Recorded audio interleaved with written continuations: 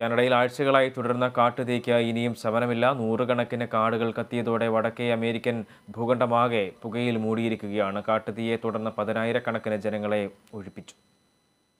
നാനൂറിലധികം കാടുകൾ കത്തിയമർന്നതോടെ കാനഡയിലും വടക്കേ അമേരിക്കയിലുമാകെ പുക മൂടിയിരിക്കുകയാണ്. മെയ് ഒക്ടോബർ മാസത്തിലെ അത്യുഷ്ണത്തോടൊപ്പം കാലാവസ്ഥാ വ്യതിയാനവുമാണ് കാനഡയുടെ ചരിത്രത്തിലെ ഏറ്റവും ഭീതിതമായ കാട്ടുതീക്കിടയാക്കിയത്. ഇതുവരെ കാനഡയിലും പ്രദേശങ്ങളിലും റെക്കോർഡ് ചൂടാണ് അനുഭവപ്പെട്ടത്. ഇതും കാട്ടുതീയുടെ വ്യാപനത്തിന് ആക്കം കൂട്ടി. ഒൻപത് ദശാംശം നാല് ദശലക്ഷം വനമേഖലകൾ ഇതിനകം കാനഡയിൽ കത്തിനശിച്ചു. പത്ത് വർഷത്തിൽ കാനഡയിലുണ്ടായ കാട്ടുതീയുടെ ശരാശരിയിലും കൂടുതലാണ് കാനഡ ഇന്ന് അനുഭവിക്കുന്ന അത്യുഷ്ണവും തുടർന്നുണ്ടായ കാട്ടുതീയും തീയുടെ തോത് വർദ്ധിച്ചതോടെ മെയ് മുപ്പത് മുതൽ ജൂൺ ആറ് വരെയുള്ള കാലയളവിൽ മാത്രമുണ്ടായ കാർബൺ പുറന്തള്ളൽ ഒന്ന് ദശാംശം ഏഴ് മെഗാടണ്ണാണ് കാനഡയിലെ തീയുടെ പുക അതിർത്തി രാജ്യമായ അമേരിക്കയിലും വ്യാപിച്ചിരിക്കുകയാണ്. ന്യൂയോർക്കിന്റെ ആകാശത്തെയും വായുഗുണനിലവാരത്തെയും ആകെ തകിടം മറിച്ച് അന്തരീക്ഷ മലിനീകരണം അതിന്റെ പാരമ്യത്തിലാണ് ഇവിടെ.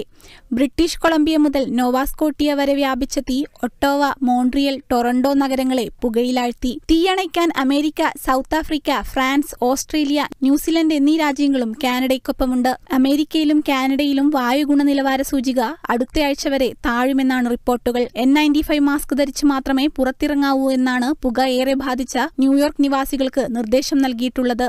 International desk Kerala vision news.